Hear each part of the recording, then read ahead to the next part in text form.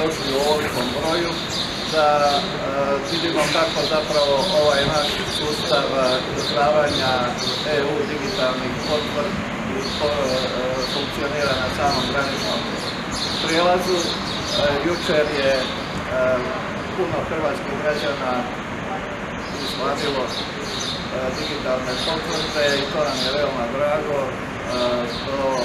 Trenutka negdje oko 40 tisuća tih potvrdi je već izdano, od toga skoro 90% putem sustava e-građani. Znamo da postoji ova druga mogućnost preko, odnosno na poslovnicama Hrvatskog zavoda za zdravstveno osiguranje.